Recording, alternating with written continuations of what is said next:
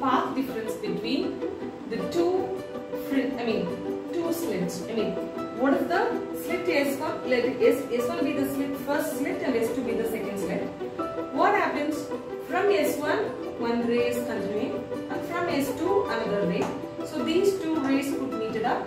What happens if L1 is the path of the first wave and L2 is the path of the second wave, then that should be definitely the path difference delta L. Likewise? If L1 is like this, then L2 is from here. So if you construct a perpendicular from first line to second line, it deviates. That is delta is the difference between these two waves. See, for example, let theta 1 be the, okay, I mean angle of this light ray making with the parallel rays and then this is also theta 2, it is an angle. So if you observe, I mean if you construct the right angle triangle, then you may observe what is delta L here. What is delta L here?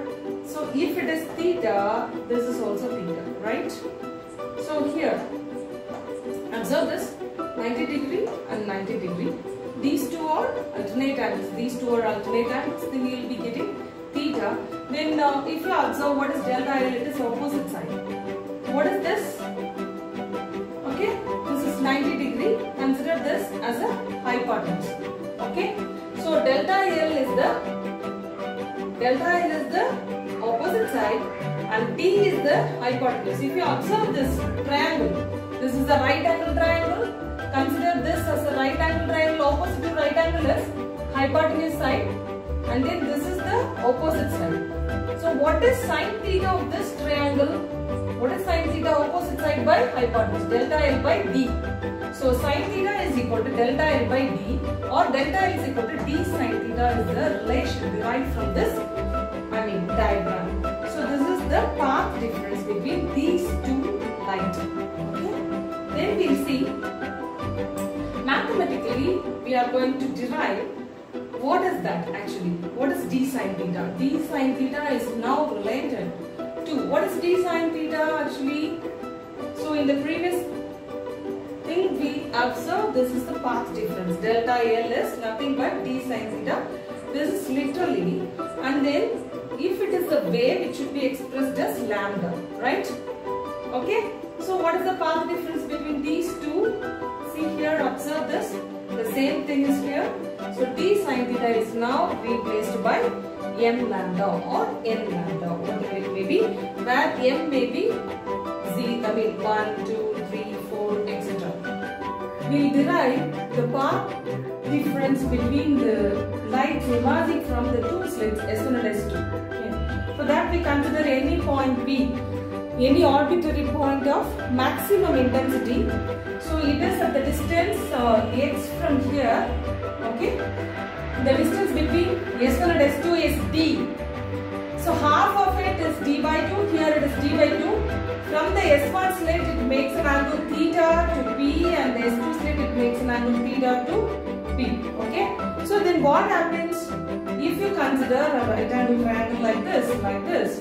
Okay, it will be Capital D is the distance between the screen and the source. Okay. This is capital X. Then we can consider, since it is D by 2, we can consider this distance as X minus D by 2. So, and then the total distance of here, it is X plus D by 2.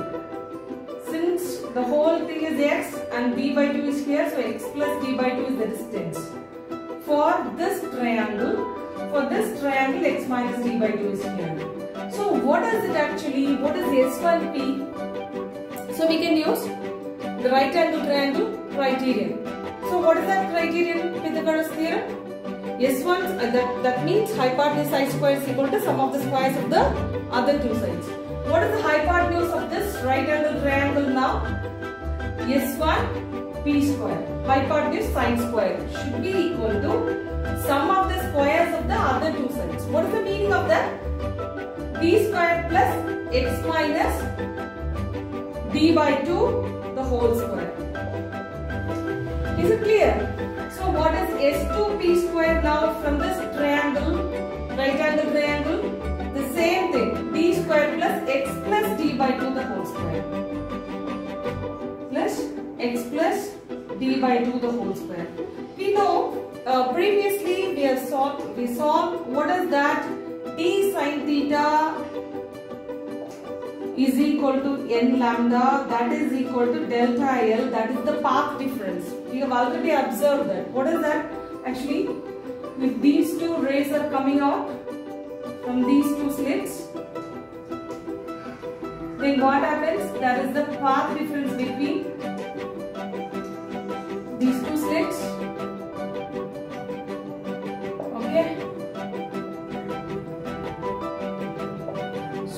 Path difference is considered as delta L. What is the path difference actually? If the length of a light travel from the slit S1 to the point, arbitrary point P, let this be L1. From the slit S2 to this P is L2. The difference in these two light path is considered as delta L. If we consider light as a wave, it should be then then suppose for example if it is first maximum then it should be n lambda n is equal to 1 okay? Lambda is the letter which is denoting the wavelength of the light. Okay? So lambda n lambda or delta l is nothing but d sin theta. What is d here? Consider this as a right angle triangle. Okay?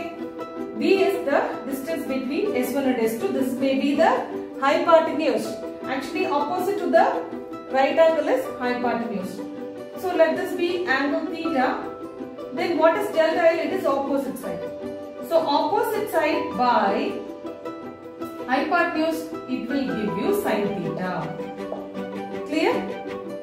So what is it? This is also theta, this one also theta and then this is also theta.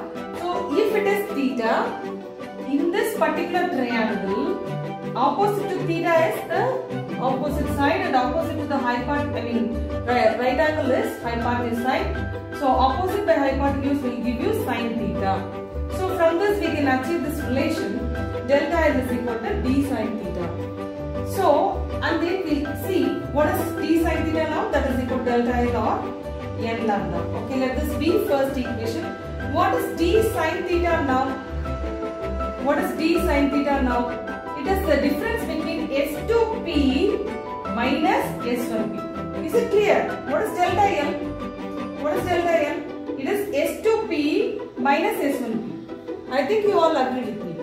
So, what is delta L now? It can be represented as S2P minus S1P.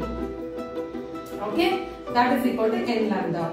So, let this equation be 2 or okay and then so we consider these two equations s2p square minus s1p square that is equal to d square plus x minus d by 2 the whole square plus sorry minus x plus. So it will it will be minus d square plus x plus d by 2 the whole square so what is d square now? Uh, d square is here. It is like a minus b the whole square. So we can derive a square plus b square minus 2 into ab. Likewise we can write. So here also d square plus x square uh, plus d square by 2 square plus 2 into b by 2 into x. The same thing is repeating. So the same term of opposite sign gets cancelled and you'll be having minus xd and here also minus xd. Sorry. Yeah. So minus xd minus xd it will be given minus 2xd. So what is it? S2p square minus S1p square. We can write a square minus b square like a plus b into a minus b. So S2p minus S1p into S2p plus S1p. So this S2p plus S1p can be written like this. S2p minus S1p is equal to 2xd by S2p plus S1p. Negative side is negligible, so it, it shows of the direction only. So we are now going to determine only a scalar quantity. So this is nothing but what is S2P minus S1P now? 2xd by S, S2P plus S1P. From this diagram, we are going to observe what it is actually. So here, if you consider this theta is very small, for example, if you consider this theta is very small, then what happens? This S1P is closely approach to this particular point. Okay? So what happens if theta is very very very small, negligibly small, then we may uh, uh, assume S1P should be equal to D. I think you all agree with me. What is S1P? S1P is almost equal to D. Okay? So what is uh, this D adjacent side? What is this S1P? This is hypotenuse. So what is tan theta now? Tan theta is equal to opposite side by adjacent side. What is sine theta now? Opposite side by hypotenuse. Now hypotenuse is approaching to adjacent side when theta is very small. So we can say sine theta is equal to tan theta or tan theta is equal to sine theta in this particular condition. So in this particular place what is sine theta and tan theta? It represents S1P and S2P. So we assume S1P is equal to S2P is equal to D. Okay? If sine theta is equal to tan theta. Clear? For small values of theta. Theta is very very less than 1. That, that means theta is very small angle. Okay. Then what happens? What is S1P is equal to S2P is equal to D. So substitute here. What is S2P? D. What is S1P? Capital D. So 2 into capital D is substituted now. S2P minus S1P is equal to 2xD by 2 into capital D that is equal to xD by capital D. Okay, what is this actually? What is S2P minus S1P? This is delta L. Okay, or we may say like that. This this this should be equal to x delta L.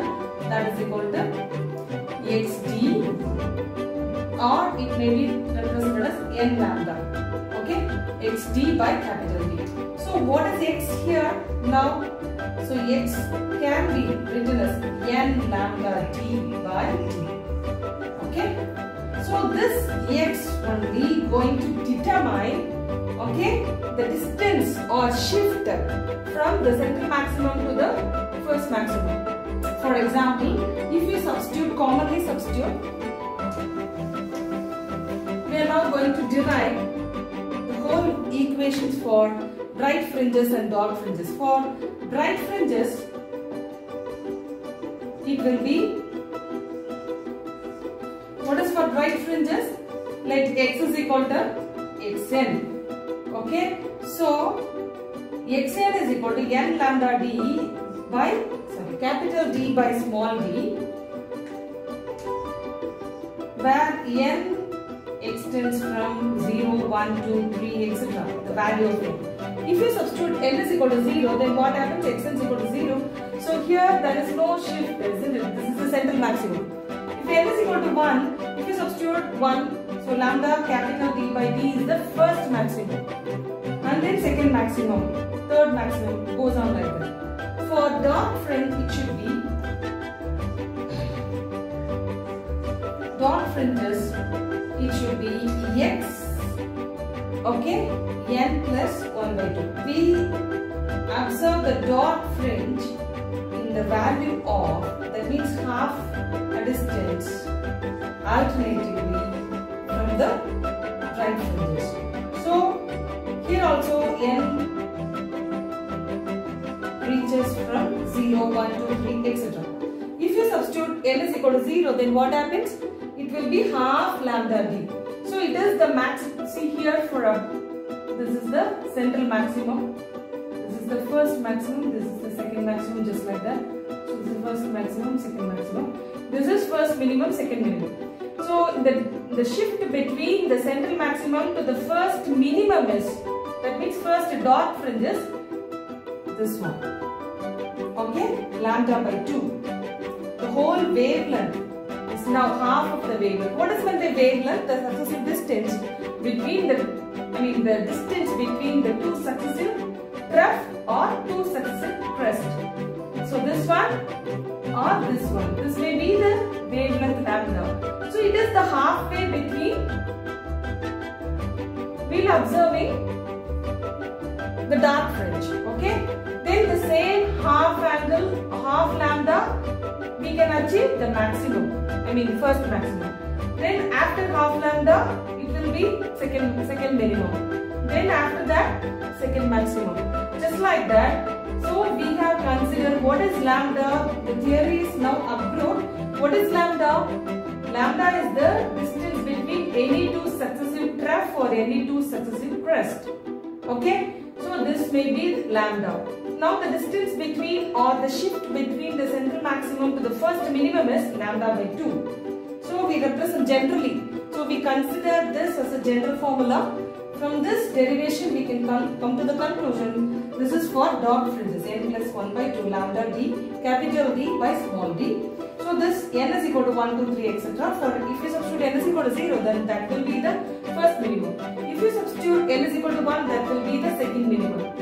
Okay, it will be 3 by 2. So 3 by 2 lambda by lambda capital D by small d. Okay, that will be the second minimum. It goes on like that in either way. Okay, so positive side, positive axis and negative axis also. Then we move on to find what is lambda or bandwidth. What is the bandwidth? Bandwidth is nothing but the distance between the two successive central maximums or two successive maximums or two successive minimums or two successive constructive interference or bright fringes or two successive dark fringes or destructive interference pattern. Okay. So what is that bandwidth? Bandwidth is nothing but it is represented by letter beta. This beta is the distance between okay any two successive trough or bright fringes or any two successive dark fringes. So xn plus 1 minus xn may be the formula.